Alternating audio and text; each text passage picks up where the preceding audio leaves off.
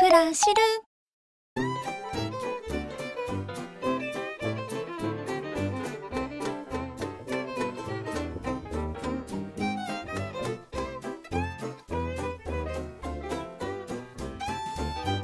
はい皆さんこんにちは。日本橋ゆかり三代目野永君夫です。今回は牛丼ですね。皆さんが大好きな牛丼ですけど今日はね俺の牛丼です。僕のはねオリジナルの、えーレシピなんで真似してください、えー食材です。今日はねあのー牛肉のね切り落としまたはねバラでいいと思います。一番安いやつです。ごぼうがねだいたい 100g ぐらい。七五三で覚えてください。七五三。70 50 30はい。顆粒だし。入れちゃう、ね、だし作るの大変ですから70の水またはお湯。5030の割りを覚えてそこに今日はねポイントです。味噌です。できたらねこの赤味噌とかね八丁味噌系ですね。赤味噌がおすすめです。なかったら普通のね味噌汁で使う合わせ味噌で十分です。味噌を入れるのが今回の味噌です。火ついてないですよまず合わせ調味料をはい作っていきます。みりんです。お醤油です。こんだけなんですけどね食材からね水分も出ますんでね。で隠し味のねこの味噌です。これがねいい仕事します。はい。軽く混ぜてここで美味しい合わせ調味料をね作っちゃいます。ごぼう。ポイントがあります。ね綺麗に洗っていただいてね。はい。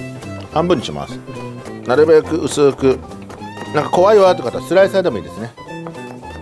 味噌とねごぼうとお肉の相性が抜群です。さらさないで切ったらすぐにこの調味液の中に入れてしまうんですね。そうするとさらさなくて済まります。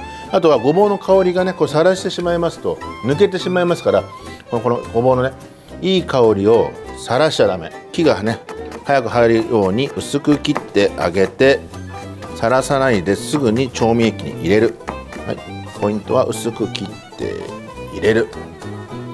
お肉どうしてもちょっと大きいので気にならない方はねこのままでいいともいいと思いますけど、ね、置いときますけど切り揃えた方がね食べやすくなります。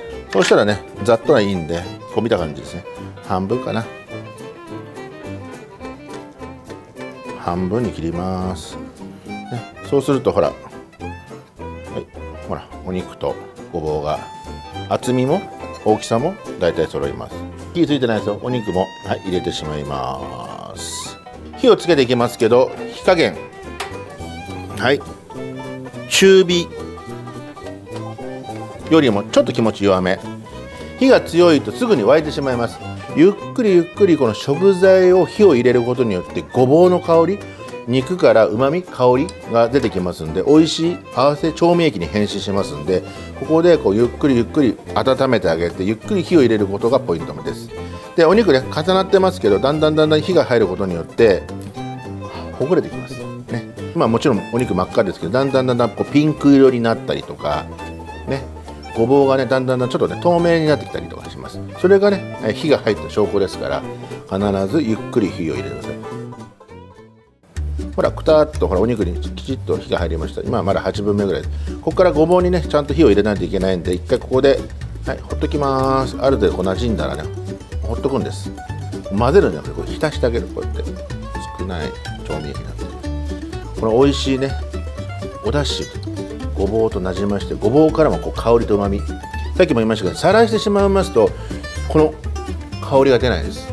多分作っていくと分かりますよ。あ最初はねこのお出汁とかね醤油とかの香りがしますけどあとみりんがねアルコール入ってます。ちょっとアルコールの香りとかしますけどゆっくりこうなじませていくと味が変わってきます。だんだんだんだん甘辛いね味になります。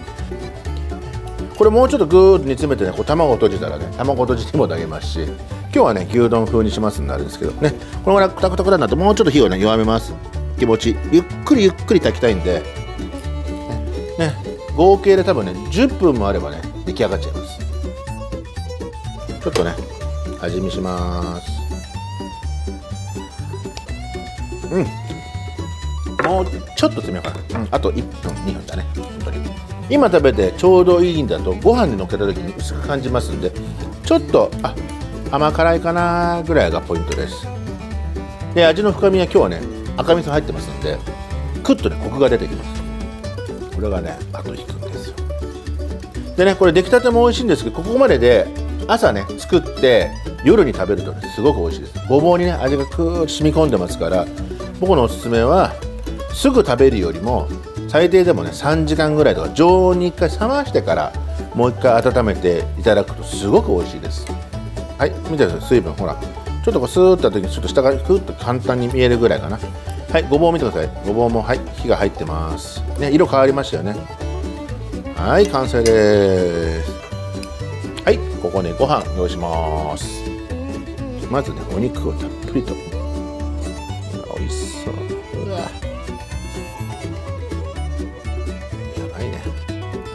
はい。最後に必ずおつゆかけてくださいよ。はい。真ん中ちょっと開けていただいて。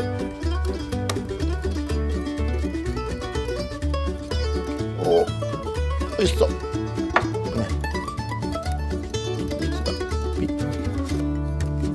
はい。あと彩りで周りに散らしていただいて、ね、これはお好みで。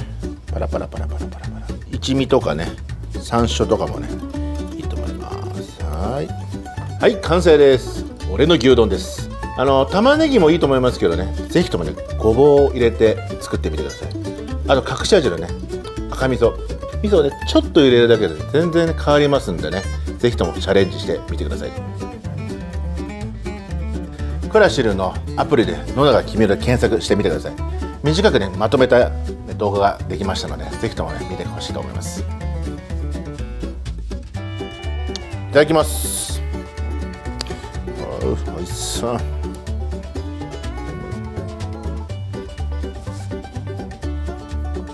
うん。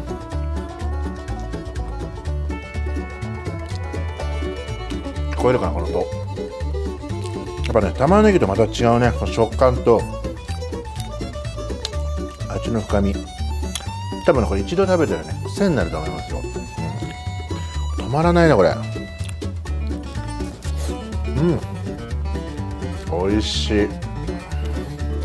多分ね、うん、皆さん作ったら私の牛丼美味しいでしょ多分人に食べさせたくなるぐらい美味しい牛丼だと思いますよ。ぜひともね皆さんチャレンジしてみてください。日本橋ゆかりは、えー、東京駅八重洲口と日本橋高島屋の、ね、ちょうど間ぐらいにあります。